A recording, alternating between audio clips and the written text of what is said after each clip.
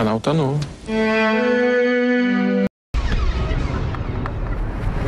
Итак, дорогие друзья, третий заключительный блок разговора без правил. Напоминаю, говорим мы сегодня об информационных войнах. Говорим об этом с Евгением Додолевым, издательским директором издательского дома Родионова. 645-9297, телефон нашего прямого эфира.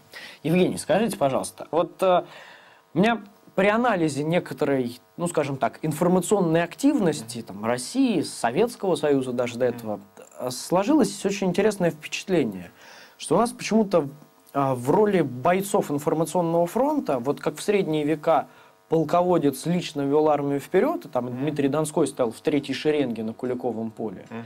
У нас вот точно так же правители страны почему-то всегда пытаются информационную войну выносить на своих плечах. Никита Сергеевич Хрущев, стучащий там ботинком, mm-hmm. да, Владимир Владимирович Путин, который лично в Мюнхене, который лично там все отрежет, угу. да, всем, который лично всех замочит, это вот какая-то национальная черта наша, или это просто там, не знаю, по глупости? Нет, не по глупости, это отсутствие просто квалифицированных работников, на которых можно положиться. То есть приходится все делать самим да. в итоге. Я слышал историю, думаю, что она не баян, что э, когда Путин, будучи президентом, э, ехал э, то ли в какой-то монастырь, то ли еще в, какой, в какой-то Э, на какую-то церковную тусу, то он лично звонил из машины патриарху, узнавал дорогу. Ну вот э, мне рассказывали людям, которым сложно не поверить. Ну при том, что там люди там с девятки, там ну все как положено, то есть эскорт, все. Ну вот, ну вот так вот приходится иногда делать самому. Это все. плохо или хорошо для хода вот войны? Как Нет, это конечно, это, конечно, плохо. Почему? Нет, ну, потому что да, на самом деле нужны квалифицированные люди на каждом участке. Тем Но более... Здесь же доверие больше. То есть, если лично там Владимир Владимирович говорит, ребята, вот у нас в Осетии вот вот так. Ну да. Ну, то есть, то есть э, человеку приходится э, все время э, вот, вот этот так пресловутый кредит доверия, все время им э, все кредиты кончаются, как мы сейчас знаем, кризиса. Поэтому э, это не очень хорошо. Кредит доверия Путину, вот если мы говорим не о внутреннем, не о кредите внутри страны, а о кредите мировой, угу. мирового доверия. Мирового, мировое доверие там, лично к Путину, как ну, в последнее время голосу России и к России в целом, оно у мира есть? Путин руководитель России, к нему априори не может быть доверия в мире к нему вот как э, по должности. Ну, человеком года а, называли а, его Ну, а трактовку как человека года тоже. Там с человеком года, кстати, тот же Маккейн сразу там вспомнил и э, 38 год, когда человеком года был э, Шикльгрубер, угу. то есть Адольф Гитлер. Поэтому это все, как бы неоднозначно. То есть обаяние Путина, оно, безусловно, там считывается, и он э, реально, если его много показывать, э, и давать ему возможность говорить, та же самая история, то есть ему поверят. Но, опять же, э, у того же Ларри Кинга на вопрос, там, что случилось там, с лодкой Курск, потому что оба знали, что американцы потопили Курск. Угу. И Путин это знал, и Ларри Кинг это знал. И вот в этот момент, когда оба знали, вот это вот и неуместная улыбка, и она утонула. А если бы он беседовал с человеком, про которого он бы э, абсолютно точно бы понимал, что он не знает, что реально случилось бы там, он бы совершенно по-другому ответил бы и развернул бы аудиторию. Здесь он растерялся, получается, или что? А, я думаю, что это и э, из известных мне это единственный прокол Владимира Владимировича Путина. На публике? Да. Нет, ну я, нет, я имею в виду ну, в, в контексте информационной войны. Угу. Мы сейчас вообще экономику, ну, да, политику, понятно, вообще нет, это, это не говорим. Разумеется. Э, только говорим тупо. Тупо, тупо, тупо про информационную Да, про информационную войну. Это э, единственный, но серьезный прокол. You tell me, what happened with the submarine? Она утонула. Она утонула. Она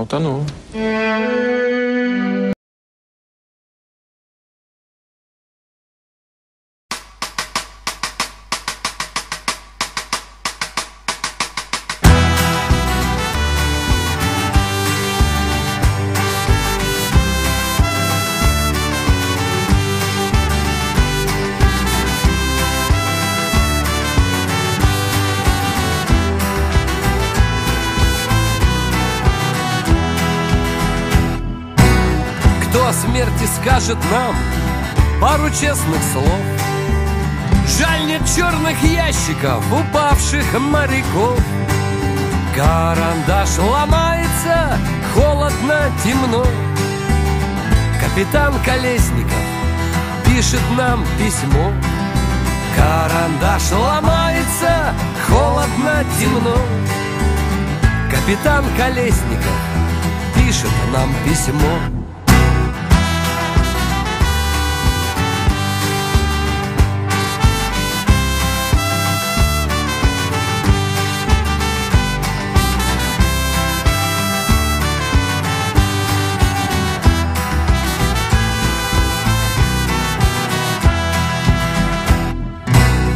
нас осталось несколько.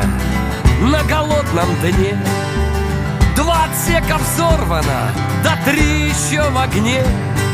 Знаю, нет спасения, но если веришь, жди. Ты найдешь письмо мое на своей груди. Знаю, нет спасения, но если веришь, жди. Ты найдешь письмо мое на своей груди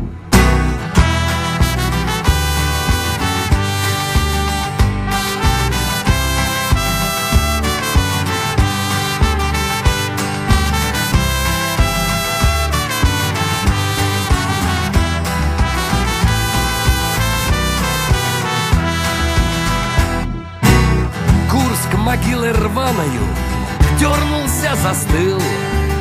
На прощание разрубил канаты ржавых жил.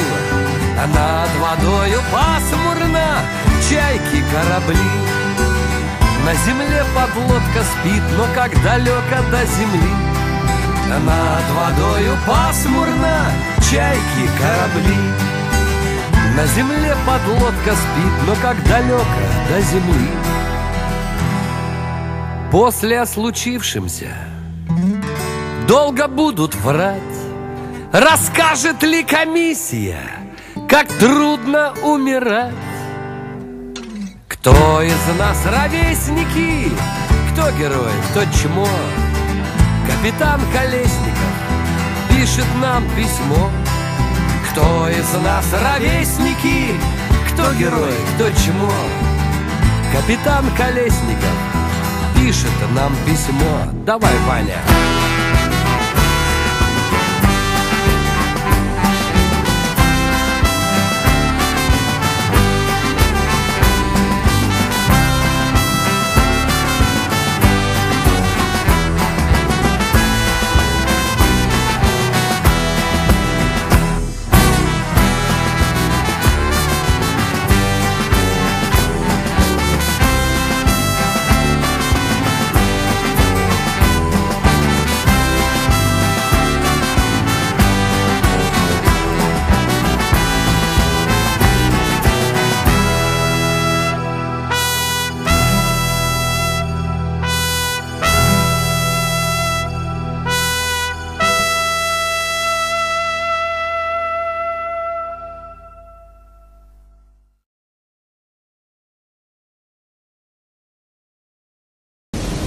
Она утонула. Она утонула. Она утонула. Она утонула.